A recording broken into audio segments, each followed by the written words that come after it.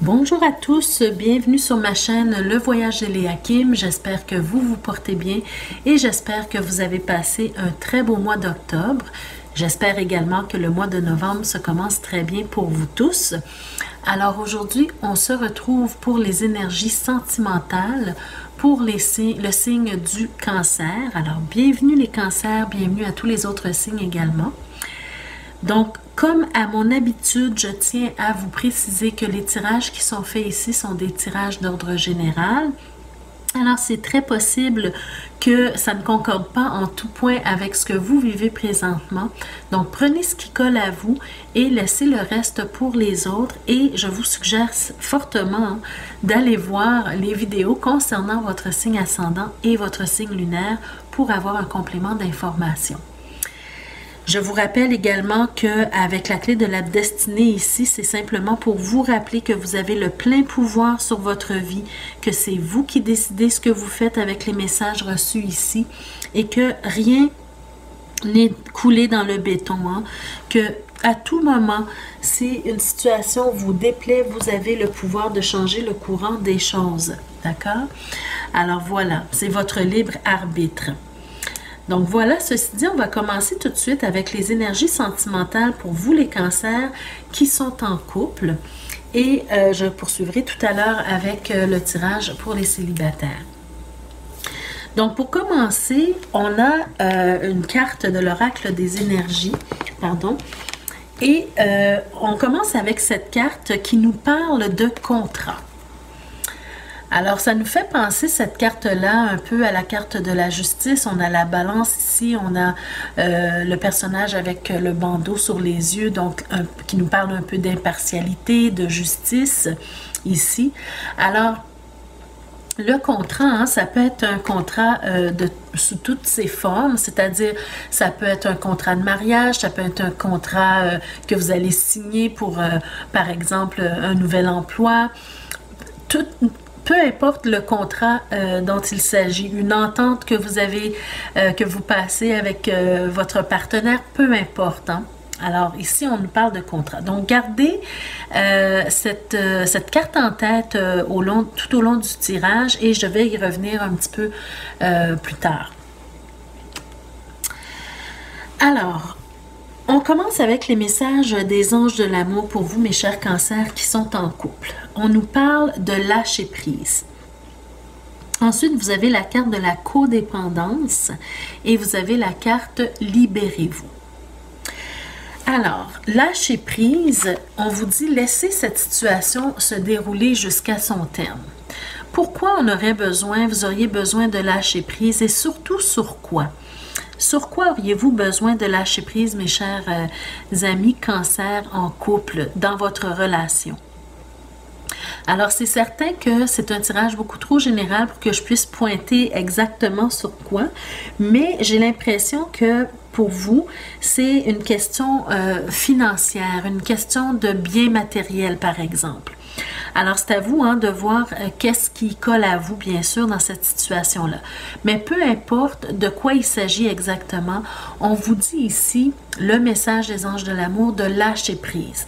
Lâcher prise, pourquoi? Parce que éventuellement, hein, ça peut vous apporter des problèmes. Le fait de toujours vouloir contrôler des situations qui sont incontrôlables, qui sont hors de votre pouvoir, ça peut éventuellement vous amener, pardon, euh, des problèmes euh, au niveau de, votre santé. D'accord? Alors, euh, apprenez à lâcher prise pour des choses que vous ne pouvez contrôler. pardon.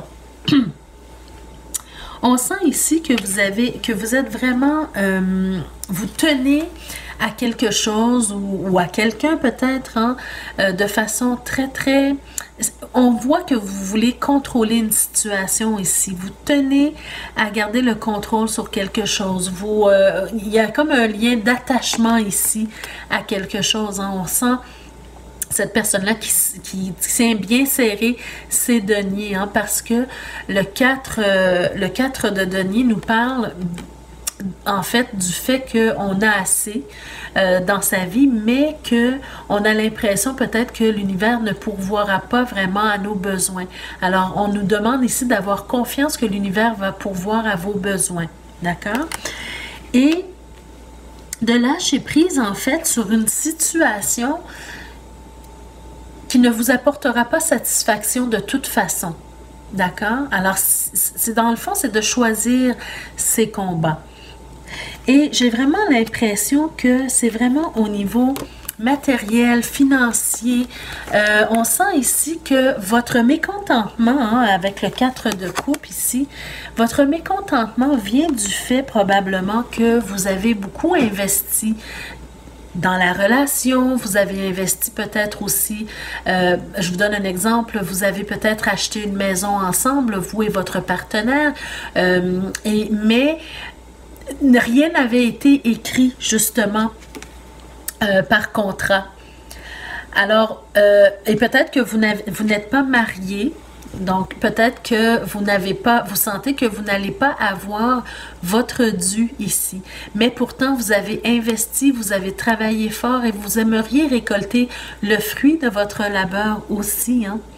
Alors, c'est un peu, je pense que c'est vraiment ici euh, une problématique dans votre couple actuellement pour euh, le, partage des avoirs, en fait. Même si vous n'êtes pas séparés, même si vous n'êtes pas divorcés, il y a une situation ici qui implique le partage des avoirs.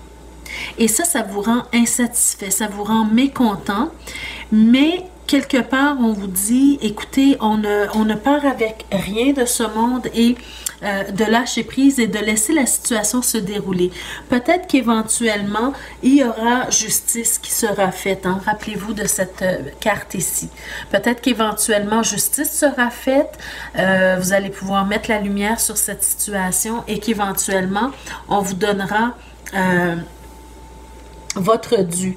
Mais pour le moment, peut-être essayer de, lâcher prise sur quelque chose que vous ne pouvez pas contrôler. Votre conjoint ou votre conjointe peut-être vous met des bâtons dans les roues pour une, pour, euh, une situation donnée, mais laissez la situation se dérouler euh, comme elle se doit et éventuellement les choses vont vont se placer. Ensuite, on vous parle de codépendance. Donc, mes chers amis cancer, j'ai envie de vous poser la question, mais en fait, je vous pose la question pour que à votre tour, vous puissiez vous la poser à vous-même. Est-ce que vous sentez, vous pensez que vous êtes dans cette relation par amour? Ou bien que vous êtes peut-être dans une relation de dépendance affective? La codépendance, hein, c'est quelque chose qui peut nous épuiser force de, la vivre. Hein. Les dépendances affectent votre vie amoureuse. Bon, il peut s'agir de, la, de la dépendance à l'autre. Il peut s'agir de toute autre forme de dépendance. Hein. Peut-être que euh, vous êtes dépendant de justement du, du du domaine financier, hein, de ce que cette relation-là peut vous rapporter. On sent peut-être qu'il y a une certaine dépendance affective parce que vous souffrez énormément avec le 3 d'épée, mais vous restez quand même dans cette situation-là. Alors, vous êtes dépendant de l'autre personne, vous êtes dépendant euh, affectif et vous vous sentez probablement étouffé, vous vous sentez euh, lié à cette personne, mais de façon malsaine. Voyez-vous le diable qui se présente ici. Mais vous décidez quand même parce que c'est un choix. Voyez-vous les gens, euh, les, les, les, gens qui sont euh, un petit peu en bas, là, ils sont attachés, mais on sent que leurs liens ne sont pas très serrés, qu'ils pourraient se libérer s'ils le voulaient vraiment. Mais comme vous êtes dans une dépendance affective, dans une relation de dépendance affective, vous avez du mal à vous détacher de cette relation ou à lâcher prise sur une certaine situation. Alors, je ne suis pas en train de vous euh, dire de vous séparer de la personne, mais simplement de prendre conscience de, euh, de la nature de votre relation à l'autre. D'accord? Si vous sentez que vous êtes dans une relation euh, de dépendance affective et que vous quand même vous tenez à cette relation, bien, vous devez faire le travail qu'il se doit, qu'il doit être, qui doit être fait pour vous libérer de, euh, cette emprise. Hein? D'ailleurs, on a la carte Libérez-vous ici. Il y a des choses à, changer dans votre relation. Il y a du ménage à faire dans votre relation. Vous avez la, la carte de la mort, de l'arcane sans nom. Alors le fait de travailler, d'enlever des choses de notre vie qui ne nous conviennent plus, qu'est-ce que ça fait? Bien, ça rend euh, la relation plus pure et ça vous donne une récompense ici, au bout du compte, hein, de vivre des relations plus saines. Alors peut-être qu'il y a possibilité pour vous de régler la situation de dépendance affective ici et de rester tout de même dans cette relation. Mais si vous sentez que c'est impossible, alors peut-être que ce sera nécessaire de, euh, prendre euh, du recul, de vous retirer et de faire d'aller chercher l'aide dont vous avez besoin pour euh, travailler sur votre dépendance. D'accord? Sur, sur euh, le fait que vous soyez dépendant affectif ou dépendant d'autres choses également. C'est de prendre conscience de qu'est-ce qui est vraiment important pour vous. Est-ce que c'est l'amour ou bien est-ce que c'est ce que cette relation vous rapporte? Mais je sens sincèrement que le fait d'être dans une relation de codépendance, ça vous épuise, ça vous fatigue, ça vous ça ne vous permet pas de vous élever, ça ne vous permet pas de vivre votre vie à bien. Écoutez, on a quand même un, 10 d'épée ici. Hein. Un 10 d'épée, là, c'est quelqu'un qui est complètement à terre, hein, complètement épuisé et qui a du mal à se relever. Alors, la, situation ici, elle est, euh, d'après moi, elle est toxique si vous vivez dans une relation de codépendance. D'accord? Alors, c'est d'essayer de, trouver le moyen de vous libérer ou de la relation ou de, euh, de, de, la codépendance. Et si, on, si vous voulez vous libérer de la codépendance, bien, c'est du travail sur soi qu'il faut faire alors. Il faut aller chercher l'aide dont vous avez besoin parce que parfois c'est difficile de, de, de prendre conscience qu'on est dans une situation euh, ou dans une relation de codépendance. Mais les anges de l'amour vous suggèrent fortement de vous libérer. On vous dit qu'il est temps de reprendre le contrôle de votre vie. Pas le contrôle de la situation que vous ne pouvez pas contrôler, mais plutôt le contrôle sur votre vie personnelle et il y a une situation que vous devez laisser derrière. Il y a une situation ou quelque chose que vous devez laisser derrière pour aller vers de nouveaux horizons. Si c'est quelque chose ici que vous ne pouvez pas contrôler, que vous ne pouvez pas aller chercher, euh, vous n'avez pas fait au départ peut-être ce qui, ce, qui devait être fait pour, euh, pour pouvoir avoir accès à à ce que vous pensez mériter, bien à ce moment-là, il faut regarder vers l'avenir, hein, aller vers quelque chose, euh, euh, vers votre avenir à vous. Je vous donne un exemple ici. Par exemple, vous, euh, vous êtes en relation avec cette personne, mais vous n'avez jamais voulu vous marier, par exemple, ou bien vous, vous êtes marié, mais cette personne-là avait déjà des acquis et qu'on vous suggérait au départ, euh, justement, quand vous vous êtes, euh, avant de vous marier, c'était par exemple de signer un contrat. Un, contrat prénuptial, par exemple. Voyez-vous, on a la carte du contrat ici.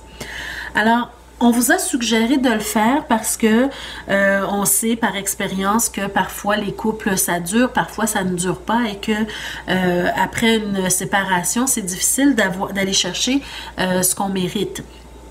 Mais euh, vous avez décidé de ne pas le faire parce que vous étiez en amour par-dessus la tête et euh, vous, avez pensé à cette époque-là que jamais votre conjoint ou votre conjointe vous ferait une telle chose de ne pas vous donner ce que vous méritez. Alors ça, ça a été une décision que vous avez prise au départ. Et maintenant, vous vivez, disons, euh, sans vous taper sur la tête, hein, bien sûr, les conséquences de vos inconséquences. D'accord? C'est un exemple que je donne ici. Alors, euh, vous, vous tenez fermement à aller chercher quelque chose que vous ne pouvez pas, euh, vous n'aurez pas satisfaction pour ça parce que légalement, ça ne vous appartient pas. D'accord? Alors, c'est ce que je veux dire ici. Donc, on vous demande de vous libérer. Si vous ne pouvez pas aller, euh, euh, euh, si vous ne pouvez pas contrôler cette situation-là, bien, lâchez prise, libérez-vous et essayez de faire quelque chose que vous aimez vous-même. Essayez de vous réaliser vous-même. D'accord? Alors, c'est pour ça que je vous dis, ce n'est pas nécessairement une séparation ici. Si vous tenez à la relation, vous avez du travail à faire, bien sûr, de part et d'autre, mais euh, ce qu'on vient vous dire ici, c'est de vous libérer de votre codépendance, de votre dépendance à cette personne ou à ce que cette personne ou cette relation peut vous apporter. Alors ici, c'est d'aller vous réaliser vous-même. Trouvez-vous un intérêt, trouvez-vous une passion, trouvez-vous euh, des choses à faire, des choses qui vont vous apporter de nouvelles aventures et qui vont vous permettre de vous réaliser vous et d'aller chercher euh, disons, la rémunération hein, euh, que vous voulez en fait. D'accord? Alors, c'est de vous libérer en travaillant positivement sur la réalisation de soi. Voyez-vous le soleil ici? Le soleil qui nous parle de réalisation, de richesse, d'abondance, de santé. Alors, c'est de travailler sur vous-même, sur votre croissance personnelle euh, pour pouvoir aller chercher ce que vous sentez que vous méritez. C'est euh, la réussite après l'effort, en fait. D'accord? L'abondance. Et on termine avec la carte de la reine d'épée. Alors, la reine d'épée, ce qu'elle nous... Euh, en fait, c'est une carte qui se rapproche le plus de la justice. Donc, probablement que vous allez vous faire, euh, entre guillemets, justice vous-même, c'est-à-dire que euh, vu que vous ne pouvez pas aller chercher ici ce que vous, pensez mériter, vous allez vous faire justice vous-même, mais de façon positive, en allant chercher la réalisation de, soi, et en euh, montrant peut-être aussi à votre partenaire que vous êtes capable d'y arriver. Alors, c'est la décision que vous allez prendre de vous réaliser vous-même, de ne plus être, de, ne plus vivre au crochet de cette personne, de ne plus rien attendre de cette personne-là, euh, de votre partenaire en fait, hein, de vous réaliser vous-même. Vous avez une décision à prendre pour votre vie personnelle, d'accord? Alors voilà pour vous, mes chers cancers qui sont en couple. Alors je vais maintenant retirer les cartes pour faire place au tirage des euh, célibataires. Alors je vais juste écrire le timing ici.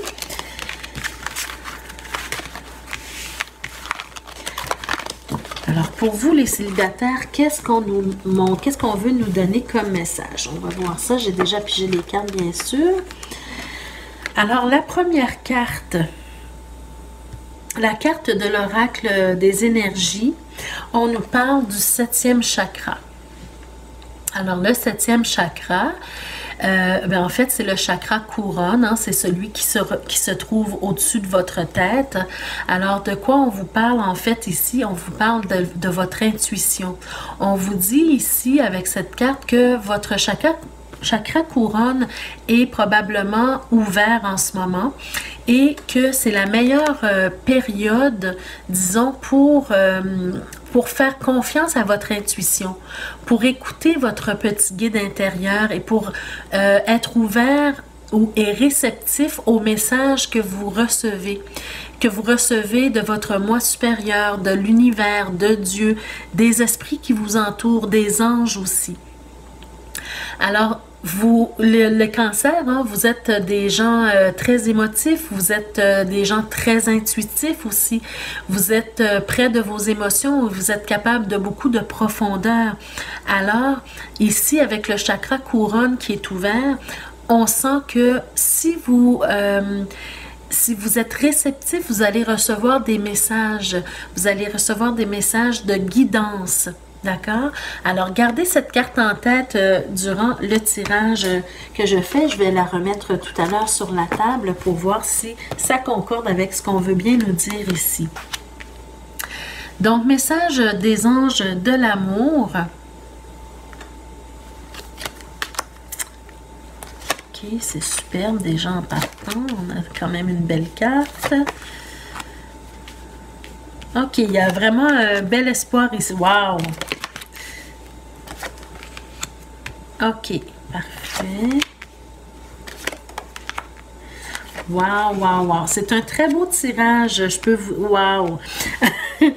OK. Alors, mais j'adore ça quand il y a des beaux, des beaux tirages comme ça parce que, euh, en fait, euh, c'est agréable de pouvoir donner de bonnes nouvelles aussi hein, pour ceux que ça concerne, bien sûr. Hein. C'est pas tous les cancers qui vont vivre la même chose. Mais pour certains d'entre vous, cancers célibataires, d'abord, on a la carte euh, des messages de l'amour qui vous dit vous méritez l'amour. Alors ça, c'est clair, vous méritez l'amour, vous êtes rendu là. Regardez ici cet ange, euh, on dirait Cupidon, hein, qui vient euh, vous lancer la flèche euh, de l'amour ici. Alors, vous méritez l'amour, sachez-le. vous êtes digne d'être aimé.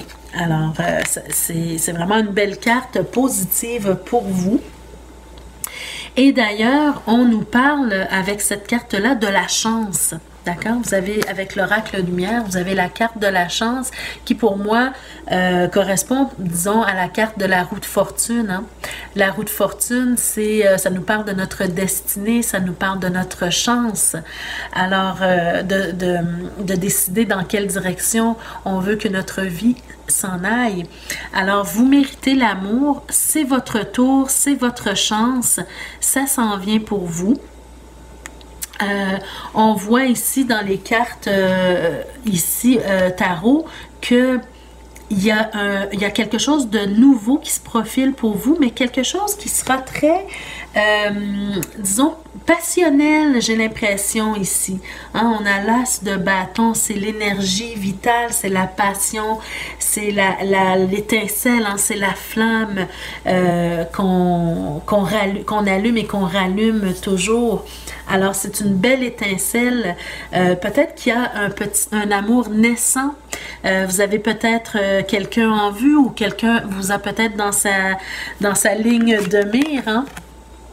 Et peut-être que vous ne le savez pas encore, mais euh, on voit, on sent vraiment une étincelle, une, euh, une énergie nouvelle qui s'en vient vers vous. Et euh, j'ai vraiment l'impression que ce sera quelqu'un de très... on a un roi de coupe ici. Alors, quelqu'un qui sera également proche, près de ses émotions, quelqu'un qui sera très doux, quelqu'un qui saura vous apporter l'amour que vous méritez.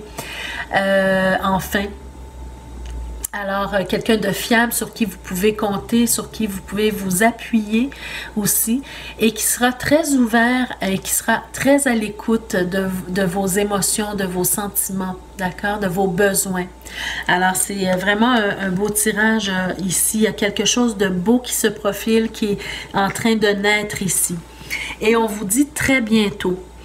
Très bientôt, euh, cette carte-là, elle vous dit décider exactement ce que, euh, ce que vous voulez afin que cela vous parvienne au plus vite.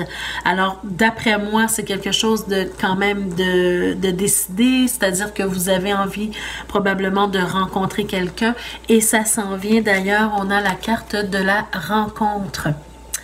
Alors, c'est peut-être déjà une rencontre qui, euh, qui, a déjà été faite. Hein. Vous avez qui a quelqu'un qui a éveillé vos sentiments euh, amoureux. ce n'est pas encore vraiment entamé, mais il y a un petit éveil ici, une petite flamme, une petite étincelle. Et on vous dit que très bientôt, cette relation-là va se concrétiser. Mais d'abord, alors la, seule, c'est pas un bémol, mais en fait la seule chose ici qu'on nous montre, c'est que avant de vous engager dans cette nouvelle relation, il y a probablement euh, encore des choses à travailler vous. On sent votre besoin de, prendre du recul encore. On sent votre besoin de vous rétablir de quelque chose encore, peut-être euh, de votre relation passée de rétablir certaines choses en vous, de vous connecter à vous-même. Euh, il y a encore des peurs peut-être euh, qui ne sont pas encore réglées, qui ne sont pas encore que vous n'avez pas encore confronté. Peur peut-être de l'intimité, peur, peu importe la peur ou les peurs que vous avez en vous, il y a, ce petit travail-là à faire hein, pour que cette rencontre-là qui s'en vient vers vous euh, puisse, puisse euh, s'épanouir en fait, puisse euh, aboutir à quelque chose de positif, d'accord?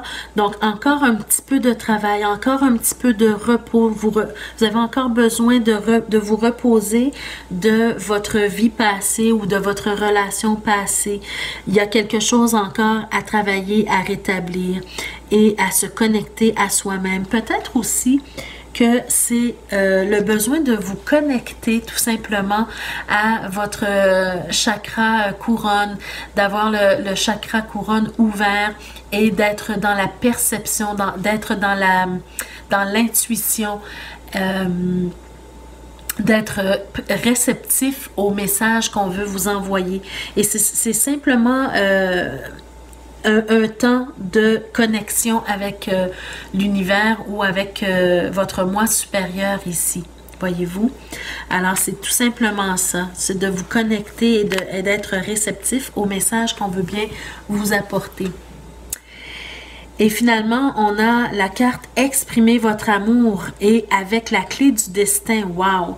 Donc, exprimez votre amour, lancez-vous, faites le premier pas. C'est-à-dire que si c'est une rencontre que vous avez déjà faite ou qui, qui sera faite très prochainement, on vous dit d'exprimer votre amour. Peut-être que la personne euh, qui s'en vient, hein, c'est quelqu'un qui est très près de ses émotions. Alors, c'est peut-être quelqu'un de très timide aussi. Alors, pour euh, ne pas rater la chance, hein, la chance, la chance est la clé de la destinée, c'est vraiment fantastique dans votre tirage. Alors, pour ne pas manquer la chance de euh, vivre ce bel amour qui se présente devant vous, bien, vous pouvez faire le premier pas. Souvent, les femmes vont hésiter avant de faire le premier pas parce qu'on nous a éduqués hein, euh, en disant que euh, c'est l'homme qui doit toujours faire les premiers pas, mais si vous sentez que c'est la bonne personne pour vous, que cette personne-là a, du mal à, exprimer lui-même ou elle-même hein, cet amour-là, mais allez au-devant. Allez au-devant parce que c'est vous qui détenez la clé de votre destinée. D'accord? Alors voilà pour, euh, euh, la carte exprimer votre amour. Et, euh, donc, on, voit vraiment que quelqu'un s'en vient très lentement vers vous qui se rapproche tranquillement. Et c'est quelqu'un qui, qui va vraiment s'engager envers vous.